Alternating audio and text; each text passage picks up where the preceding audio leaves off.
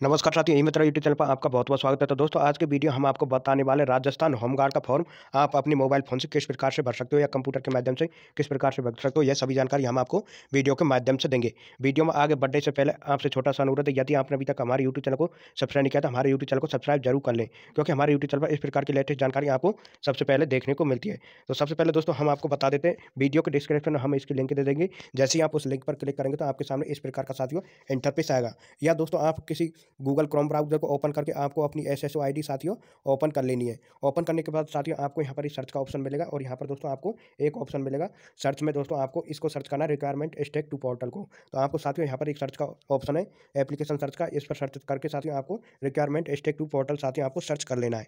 और सिंपली रूप से साथियों इस पर आपको क्लिक कर देना होगा। तो इस पर साथियों हम क्लिक करते हैं, रिक्वायरमेंट स्टेक टू पोर्टल पर हम क्लिक करते हैं। तो थोड़ी देर में ये ओपन हो जाता है, एक मिनट का साथियों ये टाइम लेता है। अब आपको क्या करना है? यहाँ पर साथियों, इसमें थोड़ा नीचे चलना होगा। रिक्वायरमेंट टू स्टेक पोर्टल साथियों, आपको सर्च करना है। आपको हमने बता दिया है। और रिक्वायरमेंट स्टेक टू पोर्टल में साथियों ऑन गोइंग रिक्वायरमेंट में आपको एक ऑप्शन देखने को मिलेगा होम गार्ड्स का। तो यहाँ पर दोस्तों, ये होम गार्ड्स का ऑप्शन आपको देखने को मिलेगा। अब साथियों सिंपल रूप से क्या करना आपको अप्लाई नाउ पर क्लिक कर देना होगा। तो जैसे ही अप्लाई नाउ पर क्लिक करते हैं तो सामने, आपके सामने इस प्रकार का इंटरफेस आता है। अब साथ ही हम आपको थोड़ा इस वैकेंसी के बारे में बताते हैं। इसमें दोस्तों, आपकी आठवीं पास योग्यता रखी गई है साथियों। और आपके, आपने आर वगैरह भी कर रखी है या कोई और डिग्री कर रखी है तो उनके भी साथियों आपके यहाँ पर बोनस मार्क्स मिलेंगे। और साथियों, आज यानी आपके साथियों, बारह जनवरी से इसके फॉर्म चालू हो गए हैं और लास्ट डेट साथियों आपके फरवरी में रखी गई है। तो इस फॉर्म की लास्ट डेट साथियों आपके फरवरी में रखी गई है और आज से साथियों, यानी बारह जनवरी दो हज़ार तेईस से इसके फॉर्म साथियों स्टार्ट हो गए हैं।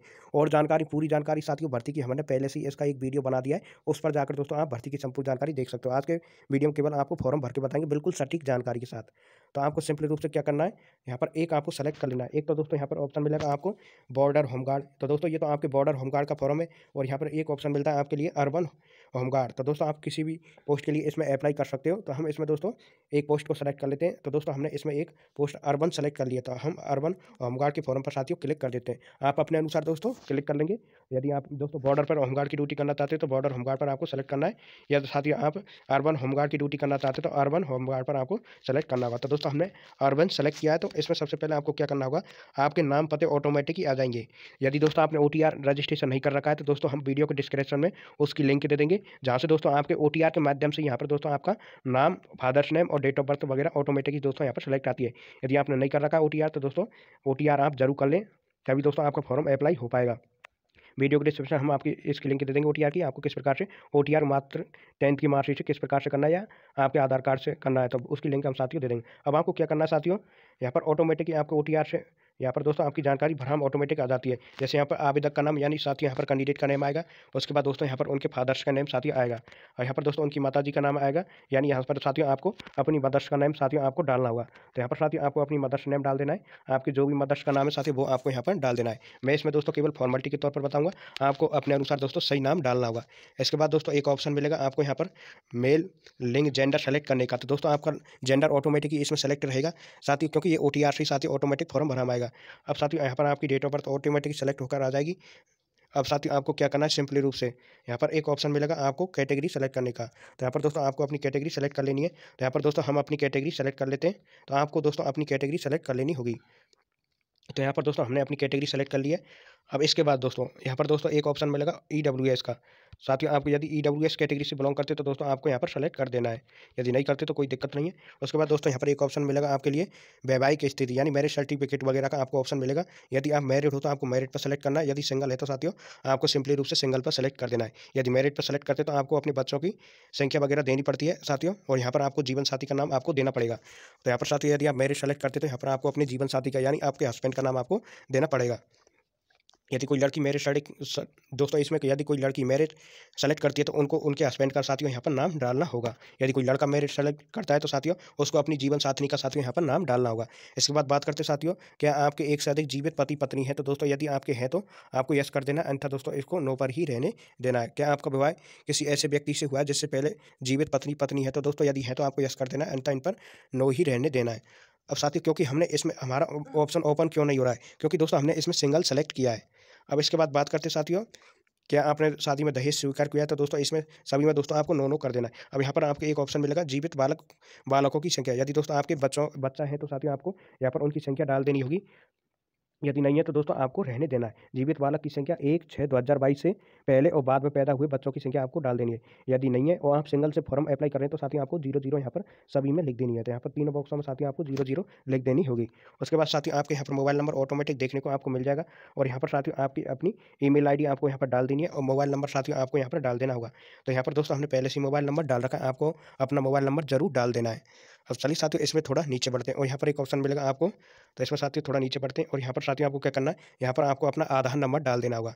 मोबाइल नंबर डालने के बाद ईमेल आईडी ईमेल आईडी डालने के बाद साथियों यहाँ पर आपको अपना आधार नंबर साथियों डाल देना है। तो यहाँ पर साथियों हम ये अपना आधार नंबर इसमें डाल लेते हैं। आपको दोस्तों अपना आधार नंबर ज़रूर डाल देना है। तो यहाँ पर हम अपना पहले आधार नंबर डाल देते हैं।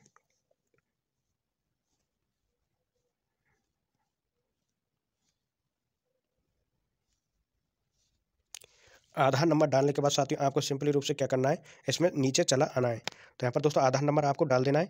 इसके बाद दोस्तों, इसमें आपको थोड़ा नीचे चलना है और यहाँ पर एक ऑप्शन मिलेगा आपके लिए अप्लाइंग तो यहाँ पर दोस्तों अप्लाइंग में आप यदि टी एस पी एरिया से करना चाहते हो, या फॉर्म को अप्लाई तो आपको यस करना है, यदि नहीं करना चाहते तो दोस्तों, नो करना है। क्या यहाँ पर दोस्तों ऑप्शन दिया हुआ है? क्या आप राजस्थान के अनुसूचित क्षेत्र से संबंधित है? यदि आप टीएसपी एरिया से संबंधित है तो साथियों, आपको यस करना है, अन्यथा नो पर ही रहने देना है।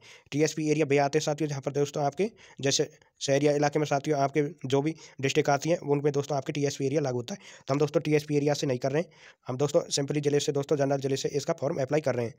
अब क्या करना है दोस्तों, आपको यहाँ पर अपना पता भरना होगा तो यहाँ पर दोस्तों हमने अपना पता भर लिया है आपको दोस्तों अपना यहाँ पर सबसे पहले आपको अपने विलेज का नाम विलेज का नाम डालने के बाद आपको अपनी पोस्ट यहाँ पर डाल देनी है पोस्ट डालने के बाद आपको यहाँ पर अपना डिस्ट्रिक्ट सेलेक्ट कर लेना है और यहाँ पर दोस्तों आपका राज्य आपको सेलेक्ट कर लेना होगा जिस भी राज्य से दोस्तों आप फॉर्म अप्लाई करें उस वो आपको राज्य यहाँ पर सेलेक्ट कर लेना है तो यहाँ पर हमने अपना राज्य सेलेक्ट कर लिया राजस्थान इसके बाद दोस्तों आपको यहाँ पर जिला अपना सेलेक्ट कर लेना होगा यहाँ पर एक ज़िले का ऑप्शन मिलेगा दोस्तों आपको यहाँ पर अपना जिला सेलेक्ट कर लेना है जिला सेलेक्ट करने के बाद दोस्तों आपका शहर या गाँव आपको यहाँ पर सेलेक्ट कर देना है तो यहाँ पर दोस्तों आपके शहर का नाम या गाँव का नाम दोस्तों आप दे सकते हैं। इसके बाद दोस्तों, यहाँ पर पिन कोड आपको डाल देना है। पिन कोड डालने के बाद दोस्तों, यदि अल्टरनेट मोबाइल नंबर है तो आपको यहाँ पर दोस्तों डाल देना होगा। यदि परमानेंट एड्रेस और कॉर्पोरेट एड्रेस दोनों समान है साथियों, आपके तो दोस्तों आपको सिंपली रूप से सेम एज एब पर क्लिक कर देना है। तो आपके दोनों परमानेंट और एड्रेस और परमानेंट एड्रेस दोनों दोस्तों आपके समान हो जाएँगे। तो यहाँ पर दोस्तों, हमारे परमानेंट एड्रेस और कॉर्पोरेट एड्रेस दोनों समान है, इसलिए दोस्तों, हमने सेम अब पर क्लिक कर दिया है। इसके बाद सिंपली रूप से आपको क्या करना है नेक्स्ट पर साथियों क्लिक कर देना होगा। तो जैसे ही आप नेक्स्ट पर क्लिक करते हैं तो आपके सामने इस प्रकार का इंटरफेस आपको देखने को मिलता है। और सिंपली रूप से राष्ट्रीयता में आपको साथियों इंडिया नहीं रहने देना और यहाँ पर दोस्तों आपको अपना गृह राज्य सेलेक्ट कर लेना है। गृह राज्य सेलेक्ट करने के बाद दोस्तों आपको अपना गृह जिला यहाँ पर सेलेक्ट कर लेना होगा। तो दोस्तों बिल्कुल सटीक जानकारी बता रहा हूँ। दोस्तों आपको और कहीं देखने की ज़रूरत नहीं है। केवल दोस्तों यहाँ पर इस आपकी सभी समस्याओं को दोस्तों हम समाधान कर देंगे। अब दोस्तों आपको गृह जिला सेलेक्ट करने के बाद राष्ट्रीयता में इंडियन सेलेक्ट कर लेना है और होम राज्य में दोस्तों आपको अपने अनुसार सेलेक्ट कर लेना होगा।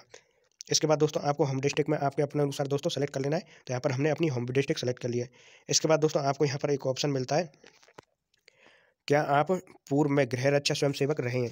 यदि दोस्तों आप इस विभाग में पहले से नौकरी कर रहे हैं या रहे हो तो आपको दोस्तों यश करना अंतर नो पर ही रहने देना। यदि यश करते तो दोस्तों उसकी जानकारी देनी होगी, कब से कब तक दोस्तों आपको रहे तो यहाँ पर दोस्तों ये डेट वगैरह दी हुई यहाँ पर दोस्तों आपको उसकी जानकारी देनी है। यदि आप रहे हैं गृह विभाग यानी होमगार्ड में, दोस्तों आप किसी प्रकार से किसी पोस्ट पर रहें तो आपको उसकी जानकारी देनी होगी। यदि नहीं रहे तो आपको नो पर ही क्लिक कर देना है। इसके बाद साथियों, यहाँ पर आपके साथियों एक ऑप्शन मिलेगा। क्या आप भूतपूर्व कह दिया आप पर दोस्तों किसी प्रकार का मुकदमा चला हो पहले तो आपको यस करना है, अन्यथा नो पर ही रहने देना है। यदि यस करते तो उसकी डेट वगैरह आपको देनी होगी, कब से कब तक दोस्तों आप कैदी रहे। क्या आपके खिलाफ कभी फौजदारी मुकदमा दर्ज हुआ है? यदि हुआ हो तो दोस्तों आपको यस करना है अपना नो पर ही रहने देना है। इसके बाद दोस्तों यहाँ पर कंप्लीट पूर्ण विवरण, इसके बाद दोस्तों आपको नेक्स्ट पर सिंपली रूप से क्लिक कर देना होगा। तो यहाँ पर दोस्तों इन सभी को भरने के बाद आपको नेक्स्ट पर क्लिक कर देना है। तो ज़्यादातर दोस्तों मामले में विद्यार्थी को इसमें किसी प्रकार की समस्या नहीं आती है, क्योंकि उन पर किसी प्रकार का फौजदारी मामला वगैरह कुछ नहीं होता, इसलिए दोस्तों आपको सभी ऑप्शन पर नो नो कर देना होगा। क्योंकि दोस्तों विद्यार्थी ना तो दोस्तों पहले से नौकरी होता है, एक दोस्तों विद्यार्थी इसके लिए अप्लाई कर रहा होता है फॉर्म के लिए। साथ ही वो पहले से कभी नौकरी नहीं कर रहा होता है, इसलिए दोस्तों आपको नो नो पर क्लिक कर देना है। यदि दोस्तों आपने कभी किया हो होमगार्ड भर्ती में, दोस्तों आपने काम होमगार्ड विभाग में गवर्नमेंट के अंदर काम किया है साथियों तो आपको यस कर देना है और उसकी डिटेल्स आपको भर देनी होगी। अंत दोस्तों, आप पहली बार अप्लाई कर रहे हो तो आपको नो नो पर ही क्लिक करना होगा। इसके बाद दोस्तों, आपको यहाँ पर ए ऑप्शन मिलेगा एजुकेशन क्वालिफिकेशन का। तो यहाँ पर साथ ही आपको क्या करना है इस बॉक्स पर क्लिक कर देना है इसके बाद साथ ही आपको यहाँ पर एट की डिटेल्स देनी होगी तो आठवीं पास की यहाँ पर साथ ही आपको डिटेल्स देनी होगी तो यहाँ पर सब्जेक्ट समूह में आपको क्या करना है आल जनरल सब्जेक्ट आपको कर देना होगा तो यहाँ पर आल जनरल सब्जेक्ट आपको इसमें कर देनी है उसके बाद साथ ही आपको क्या करना है सिंपली रूप से यहाँ पर बोर्ड का नेम आपको डाल देना होगा जिस भी बोर्ड से आपने पास किया दोस्तों आठवीं वो आपको यहाँ पर डाल देनी है तो यहाँ पर दोस्तों हमने board of secondary education Rajasthan से पास किया तो हम यहाँ पर बोर्ड का नेम डाल दिया इसके बाद दोस्तों यहाँ पर आपको अपना रोल नंबर देख देना होगा आठवीं का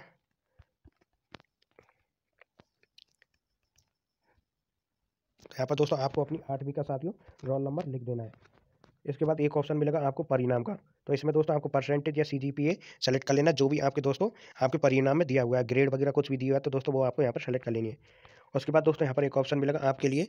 साथियों, यहाँ पर एक ऑप्शन मिलता है ईयर ऑफ़ पासिंग तो किस वर्ष दोस्तों आपने आठवीं पास की, वो आपको यहाँ पर सेलेक्ट कर देनी है।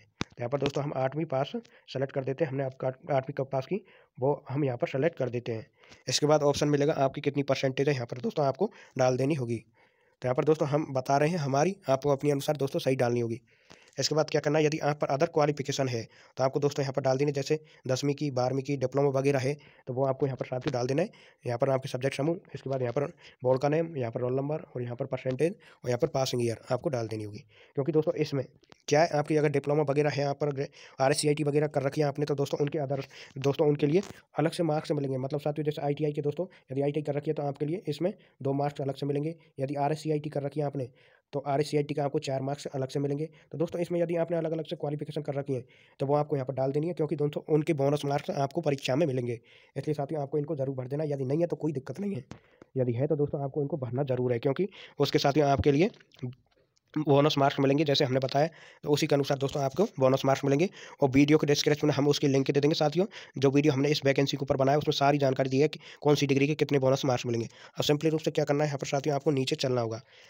इसके बाद दोस्तों यहाँ पर आपको मतलब क्या किसी बोर्ड लोक सेवा आयोग ने अनुचित साधन आदि के इस्तेमाल के लिए आपको प्रतियोगी परीक्षा से बाहर किया तो दोस्तों आपको इस पर नो ही रहने देना है। अब नीचे सिंपली रूप से क्या करना है, आपको इस बॉक्स पर क्लिक कर देना है। और नेक्स्ट पर आपको क्लिक कर देना होगा। जैसे ही आप नेक्स्ट पर क्लिक करते हो तो आपके सामने इस प्रकार का इंटरफेस देखने को मिलेगा। और यहाँ पर साथ ही आपको क्या, आपके फ़ोटो सिग्नेचर देखने को मिलेंगे। तो आपके फ़ोटो सिग्नेचर ओटीआर के माध्यम से ऑटोमेटिक आ जाएँगे। फ़ोटो की साइज़ बताते हैं हम आपके लिए साथ ही। फ़ोटो की साइज़ आपके पचास के से सौ के के मध्य होनी चाहिए। और सिग्नेचर की साइज़ की बात करते हैं तो बीस के से साथ ही आपके पचास के के मध्य होनी चाहिए। इसके बाद दोस्तों यहाँ पर फ़ोटो सिग्नेचर हमने दोस्तों अपलोड कर लिए ये देखिए फ़ोटो की साइज़ है पचास के से सौ के और आपके सिग्नेचर की साइज़ है आपके साथियों बीस के से पचास के और सिंपली रूप से आपको नीचे चलना है और यहाँ पर एक ऑप्शन मिलेगा आपको देखने को, हाथ के अंगूठे का निशान लगाएँ। तो यहाँ पर दोस्तों आपको अपने बाएँ हाथ के, यानी लेफ़्ट हैंड के दोस्तों अंगूठे का निशान आपको लगा देना होगा क्योंकि दोस्तों इसमें मांगा है तो आपको बाएँ हाथ का दोस्तों अंगूठे का निशान यहाँ पर डाल देना है। तो यहाँ पर दोस्तों जिसकी साइज़ पचास के, बीस के बी से सॉरी साथियों, बीस के बी से पचास के बी के मध्य होनी चाहिए। तो यहाँ पर साथियों हम मार्क्स को सेलेक्ट कर लेते हैं। यहाँ पर साथियों आपको भी सेलेक्ट कर लेना है। अपने बाएँ बाएँ हाथ का लेफ़्ट थम आपको यहाँ पर लगाना होगा, बीस से पचास के बी के मध्य। चूज़ फ़ाइल पर आपको क्लिक कर देना है और अपलोड कर देना होगा। इसके बाद दोस्तों, यहाँ पर एक ऑप्शन मिलेगा आपके लिए। या आपकी बॉडी पर किसी प्रकार का साथियों आपके चिन्ह वगैरह है तो आपको दोस्तों यहाँ पर उसको फिलिप कर देना यदि नहीं है तो दोस्तों, आपको सिंपली रूप से, जैसे मैंने कर रखा है, यहाँ पर नो मार्क्स आपको भी इसी प्रकार कर देना होगा। और साथियों सिंपली रूप से आपको नेक्स्ट पर क्लिक कर देना है। तो यहाँ पर पहले दोस्तों, हम लेफ़्ट हैंड के साथियों, अंगूठे के निशान को यहाँ पर सेलेक्ट कर लेते हैं, उसका फ़ोटो अपलोड कर देते हैं। तो यहाँ पर साथियों, आपके फ़ोटो सिग्नेचर अपलोड हो जाते हैं, उसके बाद आपको ये थंबनेल अपलोड कर देना है, आपके लेफ़्ट हैंड का थंबनेल तो दोस्तों, आपको यहाँ पर, आपका लेफ़्ट हैंड का थंब आपको अपलोड करना होगा। तो साथियों, आपको लेफ़्ट हैंड का थंब अपलोड कर देना है, जिस प्रकार दोस्तों हमने इसमें अपलोड किया लेफ़्ट हैंड का थंब तो यहाँ पर दोस्तों स्पष्ट रूप से दिया हुआ है। साथियों, आपके लिए यहाँ पर दिया हुआ बाएँ हाथ के अंगूठे का निशान। तो यहाँ पर साथियों आपको इसकी साइज़ रखी गई है, बीस के बी से पचास के बी के मध्य। अपलोड करने के बाद साथियों आपके यहाँ पर एक बॉडी मार्क्स का ऑप्शन मिलेगा। यदि यहाँ पर किसी बॉडी पर, आपकी बॉडी पर किसी प्रकार का मार्क वगैरह है, चिन्ह वगैरह है तो दोस्तों आपको यहाँ पर फ्लिप कर देना है। यदि नहीं है तो नो मार्क्स में आपको क्लिक कर देना और सिंपली रूप से यहाँ पर आपको नेक्स्ट पर क्लिक कर देना है। जैसे आप नेक्स्ट पर क्लिक करते हैं तो आपके सामने इस प्रकार का इंटरफेस आपको देखने को मिलेगा।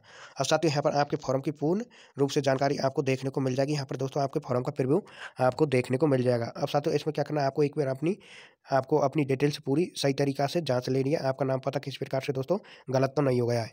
उसके बाद सिंपली रूप से आपको दोस्तों इसमें नीचे चलना होगा और साथ ही यहाँ पर ऑप्शन मिलेगा एक आपके लिए।